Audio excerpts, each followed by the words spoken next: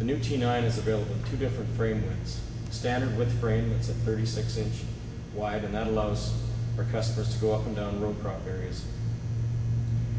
The, ro- the standard frame tractor is available from 350 horsepower all the way up to 500 horsepower. That same standard frame, we've made changes to that frame. Some of the changes that we've made allow our customers now to put up to an RCI 50 tire. Having a larger diameter tire means that customers can now put a bigger footprint on the ground, leading to less compaction and more traction. The larger frame size is the wide frame tractor that's at a 44 inch frame.